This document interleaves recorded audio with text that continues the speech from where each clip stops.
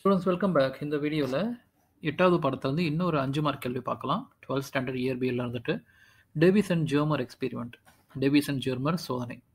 So இதுக்கு முன்னாடி வீடியோவில் பார்த்தீங்கன்னா நம்ம டீப்ராக்லியோடைய அலைகளை பற்றி பார்த்தோம். அதாவது அவர் என்ன சொல்கிறாரு எல்லா துகள் எல்லா பொருட்களுக்குமே இந்த புவியில் இருக்கிற எல்லா பொருட்களுக்குமே துகள்களாக பரவக்கூடிய பண்பும் அலைகளாக பரவக்கூடிய பண்பும் இருக்குன்னு சொல்லி சொல்கிறாரு ஸோ எதர் பார்ட்டிக்கல் அல்லது வேவ் இந்த ரெண்டு மூலமாகவும் இட் கேன் ப்ராபகேட் அப்படின்னு சொல்கிறாங்க சொல்லிட்டு எல்லாரும் போயிடுறான் இல்லையா? அறிவியல் பூர்வமாக அதை நிரூபிக்கிறோம். அவர் வந்து தத்துவத்தை தான் சொன்னார். அவர் வந்துட்டு ஒரு கோட்பாடு ஒரு எடுக்கோலை தான் அவர் கொடுக்குறாரு. நம்ம ஆளுங்க வந்துட்டு இதை அறிவியல் பூர்வமாக நிரூபிக்கிறாங்க. யாருன்னா டேவிசன் ஜெர்மர். இவங்க ரெண்டு பேர் வந்து நிரூபிக்கிறாங்க. ஸோ இதுதான் நம்ம இந்த வீடியோவில் பார்க்க போகிற அஞ்சு மார்க் கேள்வி. டீப்ராக்லியின் தத்துவம் பார்த்தீங்கன்னா கிட்டத்தட்ட ஆயிரத்தி தொள்ளாயிரத்தி இருபத்தி நாலாம் ஆண்டு வந்து டி டீப்ராக்லி வந்து தத்துவமாக சொல்கிறாரு அதுலேருந்து மூணு வருஷம் கழிச்சு இது சோதனை மூலமாக நிரூபிக்கப்படுது. ஸோ இது எப்படி ஒர்க் ஆகுதுன்னு நான் ட்ராயிங்லேயே காட்டிடுறேன். எக்ஸாம்பிள் வந்து நீங்கள் ரெண்டு ட்ராயிங்குமே போடுற மாதிரி இருக்கும். ஸோ இதில் எப்படி வேலை செய்யுதுன்னு பார்க்கலாம். ஒரு ஒரு சின்ன ஒரு பாக்ஸ் இருக்குது அந்த பாக்ஸ்குள்ளார வந்துட்டு ஒரு குறைந்த அழுத்த ஒரு மின் இது கொடுக்குறாங்க. ஒரு கரண்ட் கொடு ஒரு வோல்டேஜ் கொடுக்குறாங்க. ஒரு மின்னழுத்த வேறுபாடு கொடுக்குறாங்க. ஓகேவா அது என்ன பண்ணுதுன்னா இங்கே பாருங்க இதில் வந்துட்டு இந்த ஃபிலமெண்ட்டை சூடு பண்ணுது. இந்த கம்பி சுருளை வந்து சூடு பண்ணி கொடுக்குது. ஓகே இதுதான் இந்த கம்பி சுருளை சூடு பண்ணக்கூடிய அமைப்பு. இந்த மொத்த அமைப்புமே என்ன எப்படின்னு கூப்பிட்றாங்கன்னா எலக்ட்ரான் கன்னு கூப்பிட்றாங்க அல்லது எலக்ட்ரான் துப்பாக்கின்னு கூப்பிட்றாங்க. ஸோ இந்த கன் வழியாக எலக்ட்ரான்கள் வெளியில் வரப்போகுது. ஸோ என்ன நடக்குது? இந்த முதல்ல இந்த சின்ன ஏரியாவை பார்க்கலாம். அந்த எல்டி அப்படின்னு போட்டிருக்காங்க இல்லையா? அதுக்கு அப்படின்னா குறைந்த ஓகேவா மின்னழுத்தத்தை உண்டாக்கக்கூடிய ஒரு பகுதி. அதாவது ஒரு பேட்டரி அதில் குறைந்த அளவுக்கு தான் வோல்டேஜ் வரப்போகுது. அந்த மாதிரி ஒரு பேட்டரி கனெக்ட் பண்ணுறாங்க மெல்ல மெல்ல இந்த பேட்டரி கொண்டு சூடு பண்ணுறாங்க இந்த ஏரியாவை. கூடவே இன்னொரு பக்கத்தில் பார்த்தீங்கன்னா ஒரு உயர்ந்த மின்னழுத்தம் ஏற்படக்கூடிய ஒரு பேட்டரி கொடுக்குறாங்க. ஓகே மின்னழுத்த வேறுபாடு எதனால் நடக்கும்? எலக்ட்ரான்கள் நகரதுனால நடக்கும். வெவ்வேறு மின்னழுத்தத்தை கொடுக்குறாங்க. வேறு வேறு வோல்டேஜ் லெவல் கொடுக்குறதுனால இந்த சூடு பண்ணப்பட்ட இந்த கம்பியிலேருந்து எலக்ட்ரான்கள் வெளியில் வர ஆரம்பிக்கும். இந்த பக்கம் ரெண்டு பக்கமும் எலக்ட்ரான் த அலுமினிய தகடுகள் வச்சுருக்காங்க தகடுகள் எதுக்குன்னா எலக்ட்ரான்களை செருமைப்படுத்தி நியர் பாதையில் போகிறதுக்காக ஸ்ட்ரெயிட் லைனில் போகிறதுக்காக மேற்கொண்டு அதை பாதையை வந்து இன்னும் சீராக்கிறதுக்காக ஒரு அலுமினியம் சர்க் சிலிண்டர் வச்சுருக்காங்க. அலுமினியம் உருளை அதன் வழியாக எலக்ட்ரான்கள் வெளியில் வருது. இந்த ப இந்த இடத்துக்குலாம் வர்றப்பலாம் எலக்ட்ரான்கள் கிட்டத்தட்ட நேர்கோட்டில் பயணிச்சுட்டு வருது. ஏன் பயணிக்குதுன்னா இந்த மின்னழுத்த வேறுபாடு காரணமாக இந்த எலக்ட்ரான்கள் தூண்டப்படுது. அக்சலரேட் பண்ணப்பட்டு நகர்த்தப்படுது. இங்கே வந்து தரையில் வந்து ஒரு சின்ன ஒரு நிக்கல் படிவம் வச்சுருக்காங்க. நிக்கல் கிறிஸ்டல் ஒரு கல் வச்சுருக்காங்க. நிக்கல் கல் ஓகேவா அந்த கல்லை படுற மாதிரி பண்ணுறாங்க அந்த கல்லில் பட்டவனே என்ன ஆகும்னா அந்த கல் இப்படி இருக்குன்னு வச்சுக்கோங்க நேராக வர எலக்ட்ரான்கள் எல்லா திசையிலையுமே சிதறி எடுக்கப்படுது. ஓகேவா ஸோ அதுக்கு பேர் டைஃப்ராக்ஷன்னு சொல்லுவாங்க. இல்லை நீங்கள் இப்படி எப்படி கற்பனை பண்ணிக்கலாம்? ஒரு செவர் இருக்குன்னா அந்த செவத்தில் வந்துட்டு ஒரு அலைகள் அனுப்புறோன்னா என்ன பண்ணும்? அலைகள் செவர் மூலமாக பரவி செவத்தை தாண்டி போக முயற்சி பண்ணும். அதுதான் இந்த கல் மேலே இந்த எலக்ட்ரான்கள் பண்ண ஆரம்பிக்கும். எல்லா திசையிலையும் எலக்ட்ரான்கள் வந்து சிதறடிக்கப்படுது.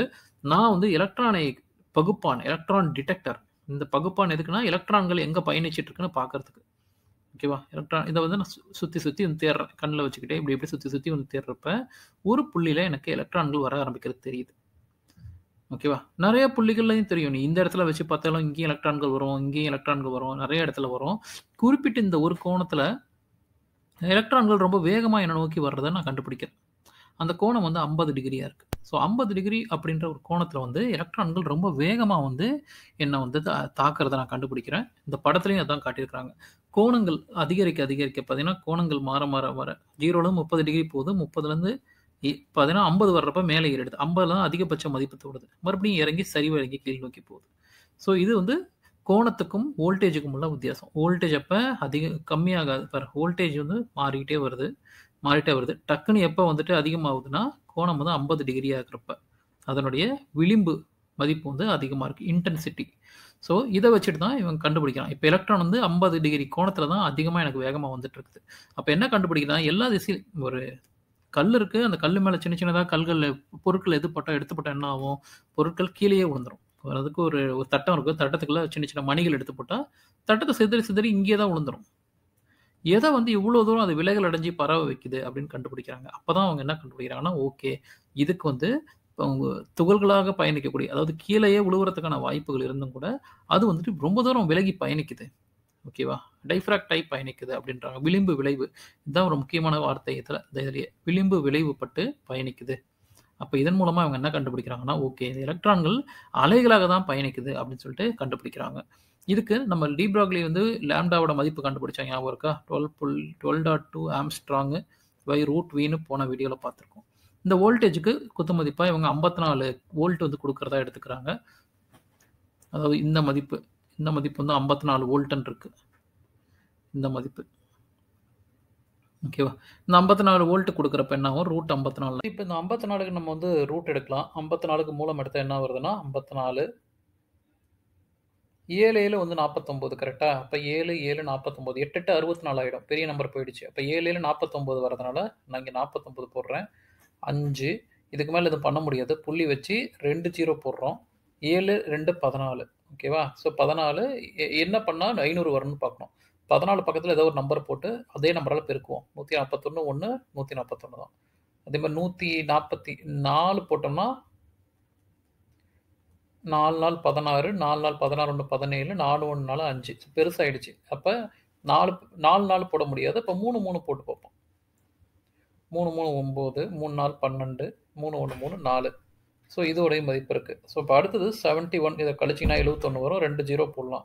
ஸோ போதும். நான் ஏழு புள்ளி மூணுலேயே இப்போதைக்கு நான் நிறுத்திக்க போகிறேன் ஓகே அப்போ லேம்டாவோட மதிப்பு என்ன வரும் அப்படின்னு பார்த்தீங்கன்னா பன்னெண்டு புள்ளி ரெண்டு ஆம்ஸ்ட்ராங் பிறை ஏழு புள்ளி மூணு. சரியா? இந்த ஐம்ப ரூட் ஐம்பத்தி நாலுக்கு ஐம்பத்தி நாலு மூலத்துக்கு வந்து ஏழு புள்ளி மூணு பதில். அப்போ லேம்டா என்னுடைய பதில் என்ன இருக்கும்? பன்னெண்டு புள்ளி ரெண்டு இந்த புள்ளியை நான் இங்கேருந்து எடுத்துட்றேன். அப்போ புள்ளி ஒரு இடத்துக்கு தள்ளணும்னா இது என்ன வந்துடும் பன்னெண்டு நூற்றி இருபத்தி ரெண்டு பெருக்கல் பத்து பவர் மைனஸ் ஒன்று ஆம்ஸ்ட்ராங் வரும். கீழே அதே மாதிரி ஒரு புள்ளி ஒரு இடத்துக்கு தள்ளணும்னா எழுபத்தி மூணு பெருக்கள் பத்து பவர் மைனஸ் ஒன்று புள்ளியை ஒரு இடத்துக்கு தள்ளுறேன். மைனஸ் ஒன்று மைனஸ் ஒன்று அடிச்சிடலாம். அப்போ நூற்றி இருபத்தி ரெண்டு பை எழுபத்தி மூணு. எழுபத்தி மூணு ஒன்று எழுபத்தி மூணு. இதை வகுத்தீங்கன்னா இது வந்துட்டு உங்களுக்கு ஒன்பது இது வந்து ஒரு நாலு ஓகேவா நாற்பத்தொம்போது மடங்கு வரும். இதுக்கு மேலே வகுக்க முடியாது. ஸோ புள்ளி வச்சிடலாம். ஜீரோ போட்டுடலாம். எழுபத்தி மூணு இது கிட்டத்தட்ட வந்து எழுபது ஏழில் வந்து நானூற்றி தொண்ணூறு. அப்போ எழுபத்தி மூணுன்றது ஆறு மடங்கு வர ஆரம்பிக்கும். ஆறு மூணு பதினெட்டு ஆறு ஏழு நாற்பத்தி ரெண்டு ஒன்று நாற்பத்தி மூணு. இதை கழிச்சிங்கனாலும் உங்களுக்கு ஐம்பத்தி ரெண்டு வரும். ஐநூற்றி இருபது. இதுவும் வந்து ஒன்று புள்ளி ஆறு ஆறுன்ற மாதிரி வரும்.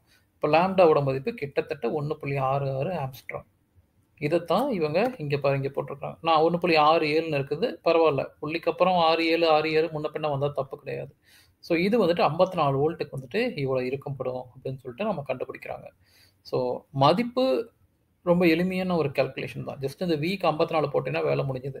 ஆனால் எப்படி இது வேலை செய்யுது அப்படின்றத ரொம்ப முக்கியமான விஷயம்.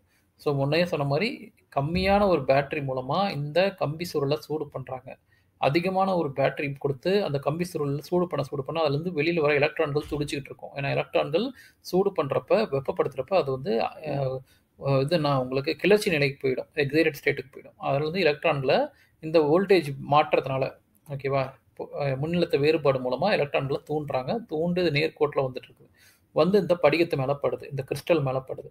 பட்ட உடனே எல்லா திசையிலையுமே அது செதறி போகுது அங்கே என்ன கான்செப்ட் விளிம்பு விளைவு டைஃப்ராக்ஷன் அதுக்கு அர்த்தம் என்னென்னா ஏதோ ஒரு பொருள் மேலே இப்படி பில்டிங் மேலே போய் ஒரு காற்று போய் படுதுன்னா என்ன பண்ணுவோம் காற்று நிற்காது காற்று பில்டிங் மேலெலாம் தாண்டி பரவி சுற்றி போக ஆரம்பிக்கும். அதுதான் விளிம்பு விளைவுன்னு சொல்லுவாங்க. அது டைஃப்ராக்ஷன் சொல்லுவாங்க. அதன்படி எல்லா திசையிலையும் எலக்ட்ரான்கள் சிதறுது. நான் எலக்ட்ரான் பகுப்பான் அல்லது எலக்ட்ரான் டிடெக்டர் வச்சுட்டு எலக்ட்ரான்களை கண்டுபிடிக்கிறேன். குறிப்பிட்ட ஒரு கோணத்தில் எலக்ட்ரான்கள் மிக வேகத்தில் பயணிக்குது அப்படின்னு நான் கண்டுபிடிக்க முடியுது. அது வந்து கோணம் ஐம்பது டிகிரி. இது ஒரு ஒன் வேர்டு ஸோ அந்த ஐம்பது டிகிரியில் வர கோணம் ரொம்ப தூரம் பயணிக்குது. திடப்பொருளில் இருந்தால் அங்கேயே சிதறி கீழே விழுந்துடணும். எப்படி இவ்வளோ தூரம் வருதுன்றப்ப அது அலை வடிவத்தில் தான் பயணிக்குது அப்படின்னு கண்டுபிடிக்கிறாங்க. ஸோ இந்த படமும் அதை சார்ந்து தான் போட்டிருக்காங்க. பார்த்தீங்கன்னா இந்த குறிப்பிட்ட இந்த ஸ்பைக் இந்த மேற்கொண்ட அதிகபட்ச மதிப்பு வந்து ஐம்பது டிகிரி தான் நடக்குது. ஓகேவா ஸோ இதெல்லாம் பார்த்துக்கோங்க. ரொம்ப எளிமையான ஒரு கணக்கு தான். இதில் கடைசி என்ன கண்டுபிடிக்கிறாங்க? வோல்டேஜுக்கு நான் ஐம்பத்தி நாலு கொடுக்குறேன்னா என்ன நடக்குதுன்றத அதோடைய மதிப்பாக கண்டுபிடிக்கிறாங்க. அவ்வளோதான் ரொம்ப சிம்பிளான ஒரு அஞ்சு மார்க் கேள்வி மிக முக்கியமான ஒரு அஞ்சு மார்க் கேள்வியும் கூட. இது இப்போ நம்ம சொன்ன இந்த கதை இல்லையா? இது எப்படி வேலை செய்யுதுன்றதை நீங்கள் புல்லட் புல்லட்டாக போட்டு தனித்தனி புல் பாயிண்ட்டுகளாக எடுத்து ஸ்டார் போட்டு ஸ்டார் போட்டு எழுதிங்கன்னா ஈஸியாக முடிச்சிடலாம். இவ்வளோ பெரிய கதையை நீங்கள் எழுத வேண்டிய தேவை இருக்காது. இதில் படமும் இந்த வரைபடமும் தான் முக்கியம். இதுவே உங்களுக்கு ரெண்டு மார்க் இல்லை மூணு மார்க் வாங்கி கொடுக்கும். இப்போ நம்ம அடுத்த கேள்விக்கு போகலாம் ஸ்டூடெண்ட்ஸ் வெல்கம் பேக் இந்த வீடியோவில் எட்டாவது படம் இயற்பியல் பன்னெண்டாம் வகுப்புக்கான ஒரு முக்கியமான அஞ்சு மார்க் கேள்வி பார்க்கலாம். இது ரொம்ப முக்கியமான கேள்வி. அதனால் கவனமாக பாருங்கள் எலக்ட்ரான் மைக்ரோஸ்கோப் எலக்ட்ரான் நுண்ணோக்கிகள். பொதுவாகவே இந்த நுண்ணோக்கிகள் அல்லது மைக்ரோஸ்கோப் எதுக்கு பயன்படுத்துவாங்கன்னா வந்துட்டு ஒரு பொருளை சின்னதாக இருக்கிற ஒரு பொருளை பெருசாக்கி அதனுடைய தன்மை அதனுடைய பண்புகள் இதையெல்லாம் பற்றி படிக்கிறது தான் இந்த நுண்ணோக்கியுடைய பர்பஸ் பயன். ஓகேவா? நம்ம ஆய்வகத்தில் பார்த்துருப்பீங்க. வாய்ப்பு இருந்தாலும் தெரியல. ஸோ நம்ம ஆய்வகத்தில் இல்லை நீங்கள் ஏதாவது பிளட் டெஸ்ட் கொடுக்க போகிறீங்க அப்படின்னா வந்து உங்கள் ரத்தத்தோடைய ஒரு சில சொட்டுகளை எடுத்து மைக்ரோஸ்கோப்பில் வச்சு தான் ஆராய்ச்சி பண்ணுவாங்க. உங்களுக்கு ஒரு வேளை ஒரு வைரல் காய்ச்சல் வந்துருச்சுன்னா பிளட் டெஸ்ட் கொடுப்பீங்க. இல்லை உங்களுக்கு ஏதாவது உடம்புக்கு வந்து ரொம்ப மோசமாக இருக்கீங்கன்னா ரத்த டெஸ்ட் கொடுக்க சொல்லுவாங்க. அப்போ அந்த ரத்தத்தில் ஏதாவது கிருமிகள் கலந்துருக்கா அப்படின்னு ஆராய்ச்சி பண்ணுறதுக்கு இந்த நுண்ணோக்கிகளை வச்சு பார்ப்பாங்க. சாதாரண கண்களுக்கு புலப்படாத பல விஷயங்கள் இந்த நுண்ணோக்கி பெருசு பண்ணி உங்களுக்கு காட்ட ஆரம்பிக்கும். இதுதான் அந்த மைக்ரோஸ்கோப்புடைய வேலை. ஏழாவது பாடத்தில் பார்த்தீங்கன்னா எளிய ஒரு மைக்ரோஸ்கோப் சிம்பிள் மைக்ரோஸ்கோப் பற்றி படிச்சிருப்பீங்க காம்பவுண்ட் மைக்ரோஸ்கோப் பற்றி படிச்சிருப்பீங்க. இந்த பாடத்தில் எலக்ட்ரான் மைக்ரோஸ்கோப் பற்றி பார்க்க போகிறோம் இந்த மூன்று நுண்ணோக்கிகள் ஏழாவது படத்தில் இருக்கிற அந்த ரெண்டும் இந்த எட்டு புள்ளி மூணு புள்ளி அஞ்சு வந்துட்டு மூணு நுண்ணோக்கிகளில் ஒரு நுண்ணோக்கி கண்டிப்பாக உங்களுக்கு ஒரு அஞ்சு மார்க்காக வரும். ஓகேவா? அதனால கவனமா பாருங்க. இந்த எலக்ட்ரான் நுண்ணோக்கி பேர்லயே இருக்கு.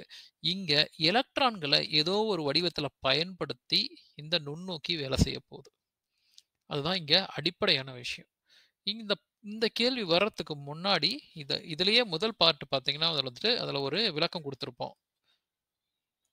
டி ப்ராக்லி அப்படின்ற ஒரு அறிவியல் அறிஞர் எல்லா பொருட்களுக்கும் துகள் போன்ற பண்புகளும் அலைகள் போன்ற பண்புகளும் இருக்குன்னு சொல்லியிருந்தார். அவர் வந்துட்டு உங்களுக்கு தத்துவார்த்தமாக சொல்லியிருந்தார். அதாவது அவர் நிரூபிக்கலை ஆனால் அவருடைய யூகங்கள் அடிப்படையில் இப்படி இருக்கலாம் அப்படின்னு சொல்லிட்டு கண்டுபிடிக்கிறார். அதாவது உலகத்தில் இந்த பூமியில் இந்த பிரஜ பிரபஞ்சத்தில் இருக்கிற எல்லா பொருள்களுக்கும் அலைகள் போன்ற வேவ் மாதிரி பயணிக்கிற பண்பும் பார்ட்டிகல்ஸ் துகள்கள் போன்ற பயணிக்கிற பண்பு இருக்கும் அப்படின்றார். ஆனால் அதோடைய எடையை பொறுத்து அதோட நிறைய பொறுத்து மாறும். நிறை பெருசாக இருந்துச்சுன்னா அந்த ரெண்டு பண்புகளை நம்மளால கண் கூட பார்க்கறதுக்கான வாய்ப்புகள் கம்மி. நிறை சின்னதாக இருந்தால் அதை நம்மளால பார்க்க முடியும். இந்த தத்துவத்தின் அடிப்படையில் தான் இந்த எலக்ட்ரான் நுண்ணோக்கியை பயன்படுத்தியிருக்காரு. இங்கே எலக்ட்ரான்களுக்கு அலை போன்று பயணிக்கக்கூடிய பண்பு இருக்கு. அந்த பண்பை நான் எடுத்து நான் இந்த எலக்ட்ரான் மைக்ரோஸ்கோப் எலக்ட்ரான் நுண்ணோக்கிய வேலை செய்ய வைக்க போறேன் அப்படின்னு சொல்றாரு. அதுக்கு இவர் என்ன சொல்றாருன்னா இந்த நுண்ணோக்கி குறிப்பிட்டு. இல்லை எந்த நுண்ணோக்கியா இருந்தாலும் அதனுடைய திறன் அதோடைய ரிசால்விங் பவர்னு கொடுத்துருக்காங்க. அதோடைய திறன் அதோடைய கெப்பாசிட்டி அதோடைய பெர்ஃபார்மன்ஸ் எப்படி இருக்கும்னா அதுக்கு உள்ளர அனுப்புற அந்த அலையுடைய நீளத்தை பொறுத்து இருக்கும் அப்படின்றார். அலை நீளம். நம்ம அலை நீளம்னா என்னன்னு பார்த்தோம். ஒரு அலை இருக்குன்னா அதுல இந்த உதாரணத்துக்கு இந்த புள்ளி எடுத்துக்கோங்க. மேலே ஏறுறப்ப இங்கே ஒரு புள்ளி எடுத்திருக்கேன். இதே மாதிரி ஒரு புள்ளி மறுபடியும் அலையில் எப்போ வரும்னு பாருங்கள் இப்போ மேலே ஏறி கீழே இறங்கிருச்சு இந்த புள்ளியில் மேலே ஏறி மேலே ஏறி இந்த புள்ளி தான் வரும். இந்த ரெண்டு புள்ளிகளுக்கு இடைப்பட்ட தூரம் தான் அலை நீளம்னு சொல்லுவாங்க. அலையோடைய நீளத்தை காட்டுது. இந்த அலை நீளம் வந்துட்டு சின்னதாக இருந்துச்சுன்னா உங்களுக்கு அந்த நுண்ணோக்கி பெரிய ஒரு உருவத்தை காட்டும் அப்படின்றாங்க. ஜூம் பண்ணி பெருசாக காட்டும் அப்படின்றாங்க. அலை நீளம் சின்னதாக இருந்தால் மேக்னிஃபிகேஷன் அதிகமாக இருக்கும். அதோடைய விரிவான அந்த படம் வந்துட்டு ரொம்ப அதிகமாக வரும். அதோடைய உருப்பெருக்கம் அப்படின்ற ஒரு வார்த்தை பயன்படுத்துகிறாங்க மேக்னிஃபிகேஷன் பெருசாக இருக்கும் அப்படின்னு சொல்லி சொல்கிறாங்க ஓகேவா அதுக்காக இவங்க என்ன பண்ணுறாங்கன்னா எலக்ட்ரான்களை எடுத்து அதை அலை மாதிரி போக வைக்கிறாங்க. ஓகேவா நம்ம அஞ்சாவது பாடத்தில் படிச்சிருப்போம். நிறைய நிறைய விதமான கதிர்களை பற்றி பார்த்து அலைகள் பற்றி படி படிச்சிருப்போம். ரேடியோ அலைகள் மைக்ரோவேவ் அலைகள் இந்த மாதிரி நிறைய படிச்சிருப்போம். ஓகேவா? அதில் ஒன்று தான் கண்ணுரு அலைகள்னு கண்ணுரு ஒளின்னு படிச்சிருப்போம். அலைகள்னு படிச்சிருப்போம் கண்ணுரு ஒளி. அதாவது நம்ம கண்ணால் பார்க்கக்கூடிய அந்த விசிபிள் லைட் அது வந்துட்டு நம்ம கண்ணால பாக்குறோம். ஓகேவா? நம்ம அதிகபட்சமா நம்ம என்ன பண்ண முடியும்? நம்ம கண்ணாடி போடுறோம் அப்படின்னா நமக்கு கண்ணு சரியா தெரில. கண்ணாடி போடுறோம். அதுல ஒரு லென்ஸ் இருக்கு. நம்மளுடைய இயற்கையில பார்க்கக்கூடிய அந்த ஒளியை வச்சு நமக்கு அதை கண்ணில் காட்டுது. இது ஒரு விதமான நம்ம கண்ணாடியே ஒரு மைக்ரோஸ்கோப் தான். என்ன பெருசா கேட்டாம நம்ம கண்ணாடியோடைய குவியம் அந்த லென்ஸுடைய பவருக்கு ஏற்ற மாதிரி கொஞ்சம் காட்டுது அவ்வளவுதான். லென்ஸ் நீ பெருசா எடுத்தீங்கன்னா இன்னும் நல்லா ஜூம் பண்ணி காட்டும். அதனால தான் நீங்கள் நல்லா கண்ணு தெரிஞ்ச ஒருத்தர் வந்துட்டு இன்னொருத்தருடைய கண்ணாடி வாங்கி போடுறப்ப அவருக்கு வந்து வித்தியாசம் தெரியுது. ஏன்னா அந்த கண்ணாடியுடைய குவியம் அந்த லென்ஸோடைய திறன் அவர் கண்ணுக்கு செட் ஆகாமல் இருந்திருக்கும் இதுதான் அடிப்படை. இது மாதிரி தான் இங்கேயும் நடக்க போகுது. ஸோ சாதாரண ஒளிகளை வச்சு நம்ம இயற்கையாக கிடைக்கிற அந்த கண்ணுறு ஒளியை வச்சு ஓரளவுக்கு தான் நம்ம வந்துட்டு அது ஒரு பொருளை விரிவடைஞ்சு பார்க்க முடியும். அப்போ என்னன்னா அதை விட அந்த கண்ணூர் ஒளின்றதும் ஒரு ஒளி தானே ஒரு அலை தான். அதுக்கு ஒரு அலைநீளம் இருக்கும். அதுவே எனக்கு உதாரணத்துக்கு பத்து மடங்கு தான் காட்டுதுன்னு வச்சுக்கோங்க அப்போ எனக்கு நூறு மடங்காக பெருசு பண்ணி காட்டுறதுக்கு என்ன பண்ணும்? இதை விட அலைநீளம் கம்மியாக எடுக்கணும். அப்போ கண்ணுறு ஒளியை விட அலைநீளம் கம்மியாக இருக்க ஒரு அலையை தேடுறாங்க. அப்போ தான் இந்த எலக்ட்ரான்களே நான் அலையாக அனுப்புறேனே. அதனுடைய மதிப்பு வந்து இதை விட கம்மி தான் அப்படின்னு சொல்லிட்டு இங்கே விளக்குறாங்க. இதுதான் பேசிக் அப்போ எலக்ட்ரானுடைய அலை பண்பு வந்துட்டு அலை நீளம் மிக மிக சின்னதாக இருக்கும். மிக மிக சின்னதாக இருந்த ஒரு காரணத்தினால மிகப்பெரிய ஒரு ஒரு உருப்பெருக்கம் எனக்கு அந்த உருவத்துக்கு கிடைக்கும். ஒரு மேக்னிஃபிகேஷன் ஹையாக கிடைக்கும் அப்படின்றாங்க. இது எப்படி வேலை செய்யும் அப்படின்னு சொல்லி பார்க்குறப்ப ரெண்டு படங்கள் கொண்டு விளக்குறாங்க. ஒன்று வந்துட்டு சாதாரண ஒரு ம ஒரு நுண்ணோக்கி ஒளியை அடிப்படையாக நம்ம கண்ணில் ப கண்ணில் அன்றாடம் நமக்கு சூரியன்லேருந்து கிடைக்கிற அந்த சாதாரண பகல் ப பகல் நேர ஒளியை மட்டுமே கொண்டு அனுப்புகிறாங்க இன்னொன்று வந்து எலக்ட்ரான்களை மூலம் அனுப்புகிறாங்க உங்களுக்கு எலக்ட்ரான் மைக்ரோஸ்கோப் எலக்ட்ரான் நுண்ணோக்கின்னு கேட்டால் இந்த படம் தான் எழுதணும். உங்களுக்கு ஒளி ஆப்டிக்கல் மைக்ரோஸ்கோப் அல்லது ஒளி மின்னோக்கின்னு கேட்டாங்கன்னா இந்த படம் எழுதணும். ரெண்டும் ஒன்று தான். அடிப்படை வித்தியாசம்னு பார்த்தீங்கன்னா ஒன்று இங்கே ஒளியை பயன்படுத்துகிறாங்க இங்கே எலக்ட்ரானை பயன்படுத்துகிறாங்க இங்கே இந்த குவியங்கள் லென்ஸ்லாம் வந்து சாதாரண கண்ணாடி லென்ஸாக இருக்கும். இங்கே வந்து பார்த்தீங்கன்னா உங்களுக்கு எல்லாமே வந்துட்டு காந்தங்களாக இருக்கும். இதெல்லாம் மேக்னெட் எல்லாமே மேக்னெட்டிக் லென்ஸ் அப்படின்னு சொல்லி சொல்லுவாங்க. அதே மாதிரி படம் வெறு பெருசாகுது இல்லையா? அந்த பெருசாகிற மதிப்பு வந்து ஒளி மூலத்தில் ரொம்ப பெருசாக கிடைக்காட்டியும் ஒரு பத்து மடங்கோ இருபது மடங்கோ கிடைக்கும். எலக்ட்ரான் மைக்ரோஸ்கோப்பு ஒளி மூலமில் கிடைக்கிற ஒரு பெரு சைஸை விட பெருசாக எனக்கு கொடுக்கறதுக்கு அமைப்பு இருக்குது ஏன்னா எலக்ட்ரானுடைய அலைநீளம் கம்மி. எலக்ட்ரானுடைய அலைநீளம் கம்மின்றதுனால அதனுடைய அதிர்வெண் அதிகமாக இருக்கும். அதனுடைய உருவமைப்பும் பெருசு ரொம்ப பெருசாக இருக்கும். எ- கண்ணுறு ஒளியுடைய அலைநீளம் அதிகம் அப்படின்றதுனால என்னுடைய அதிர்வெண் கம்மியாக இருக்கும். எனக்கான உருவமைப்பு பெருசாகிற அந்த வாய்ப்பு வந்து கம்மியாக இருக்கும். ஸோ இதுதான் பேசிக்காக அதிர்வெண்ணும் அலைநீளமும் எதிர் தகவல் இருக்கும். அலைநீளம் கம்மியாக இருந்தால் அதிர்வெண் அதிகமாக இருக்கும். அதிர்வெண் அதிகமாக இருந்தால் அலைநீளம் கம்மியாக இருக்கணும். இதுதான் அடிப்படை. இப்போ படத்தில் எப்படி வேலை செய்யுதுன்னு பார்க்கலாம். ஒரு எலக்ட்ரான் கருவி இதான் இந்த கருவியை பார்த்துக்கோ. மேலே இருந்துட்டு எலக்ட்ரான்களை உருவாக்கி உள்ள அனுப்ப போகிறாங்க மேலே இருந்துட்டு. இதுக்கு எதை பயன்படுத்துகிறாங்கன்னா ரெண்டு விதமான கலன்கள் ரெண்டு விதமான பேட்டரி பயன்படுத்துகிறாங்க ஒரு கம்மி volt battery low volt battery ஒன்று எடுத்துக்கிறாங்க. இன்னொன்று ஹை வோல்ட் அதிகமான மின்னழுத்தம் கொடுக்குற ஒரு கலன் எடுத்துக்கிறாங்க. லோ வோல்ட் நம்ம டேவிஸ் அண்ட் ஜெர்மர் போன வீடியோவில் படிச்சிருப்பீங்க இல்லையா? அதில் என்ன பண்ணியிருப்பாங்க அது ஒரு கம்பி சுருளை சூடு பண்ணும். ஹை வோல்ட் என்ன பண்ணும்? இந்த சூடு பண்ணுறப்ப எலக்ட்ரான்கள்லாம் குதிச்சிட்டு இருக்கும் அந்த எலக்ட்ரான்கள்லாம் தூண்டி விட்டு வெளியில் வரதுக்கு ஹெல்ப் பண்ணும். இந்த ரெண்டு விதமான கலன்கள் இந்த இடத்துல உட்காந்துருக்கும் ஓகேவா அதுக்கு பேர் எலக்ட்ரான் துப்பாக்கிகள்னு சொல்லுவாங்க இல்லை எலக்ட்ரான் கன்கள்னு சொல்லுவாங்க. அந்த கன் மூலமாக எலக்ட்ரானுடைய கதிர்கள் நேராக உள்ளே வந்துட்டு இருக்கும் இந்த இடத்துக்கு வந்தவொடனே என்ன ஆகும்னா இந்த கண்டென்சர் லென்ஸ் குவிக்கும் லென்ஸ் என்ன பண்ணும்? எலக்ட்ரான்களை நீ ஏன் ஒன்று ஒன்றா போகிறேன்னா கொஞ்சம் ஒரு பத்து பாஞ்சா ஒன்றா போனீங்கன்னா கொஞ்சம் வேலை மிச்சமாகும்னு சொல்லிட்டு ஒரு பத்து பாஞ்சு எலக்ட்ரான்களையும் இப்படி ஒன்றா சேர்த்து குவிக்கும் எலக்ட்ரான்கள் குவிச்சிட்டு மறுபடியும் உள்ள அனுப்போம். உள்ள அனுப்புறப்ப இந்த இடத்துல தான் என் பொருள் வச்சிருக்க போகிறோம் இந்த இடத்துல தான் நம்ம பொருள். இங்கேயும் பாரு ஒன்றும் ஆகலை. இந்த ஒளி வருது இந்த இந்த லென்ஸில் அந்த குவியத்தில் படுது மறுபடியும் நேராக பொருள் மேலப்படுது ஆப்ஜெக்ட் இங்கேயும் ஆப்ஜெக்ட் தான். பொருள் பொருள். பொருள் வந்து இங்கேயே வச்சிடுறேன் நம்ம சாதாரண நுண்ணோக்கிலாம் பொருள் அடியில் இருக்கும். ஓகேவா இங்கே பொருள் நடுவுலையே வச்சிருக்கிறோம். பாரு இந்த வழியிலேயே பொருள் உள்ளே போயிடும். இப்போ இந்த பொருள் மேலே என்ன பண்ணுது தெரியுமா? எலக்ட்ரானு உதாரணத்துக்கு அந்த பொருள் அந்த கண்ணா அந்த பொருள் வைக்கிற இடத்துல ஒரு பூச்சி வைக்கிறேன்னு வச்சுக்கோ. இந்த எலக்ட்ரான் கதிர்கள் மேலேருந்து வர்றப்ப என்ன பண்ணோம்? இந்த இந்த பூச்சி அப்படியே வந்து ஸ்கேன் பண்ணும். பூச்சி மேலே இப்படியே இப்படியே ப- இப்படியே படர ஆரம்பி இப்படி கோடு போட ஆரம்பிக்கும். இப்படி கோடு போக மறுபடியும் இப்படி கோடு போட ஆரம்பிக்கும். கோடு போட்டு அந்த பூச்சியோடைய ஒரு வடிவத்தை ஒரு மாதிரி காப்பி ஒரு ஜெராக்ஸ் எடுத்துக்கும். ஓகேவா? அந்த கோடுகள் எலக்ட்ரான் எப்படி நேர்கோடெல்லாம் வருது சார் ஏன் சார் இப்படி இப்படி இப்படிலாம் எப்படி சார் போகும் அப்படின்னா இந்த கண்டென்சர் லென்ஸ் இருக்கு இல்லையா? இதெல்லாம் காந்தங்கள்னு சொல்லியிருக்கேன் நான். இந்த காந்தங்களுடைய சக்தி மூலமாக இந்த கோடுகளுடைய திசைகள் மெல்ல மெல்ல மாற்றப்படும் ஸோ மறுபடியும் இப்படி நகர்ந்து போகும். அப்புறம் இது ஓகே பூச்சியோட ஓரளவுக்கு நான் பரப்ப முடிச்சுக்கிட்டேன் அப்படின்னா மறுபடியும் இப்படி போக ஆரம்பிக்கும். பூச்சியை ஒரு காப்பியாக எடுத்து வச்சுக்கும். இந்திரன் படத்தில் பார்த்தீங்கன்னா சிட்டி ரோபோ மாதிரியே ஒரு காப்பி வந்து உருவாக்கும். ஹோலோகிராம்னு சொல்லுவாங்க. அவனை மாதிரியே இன்னொரு காப்பியை வந்து ஒரு ஒரு ஜெராக்ஸ் மாதிரி பேசுகிற மாதிரி.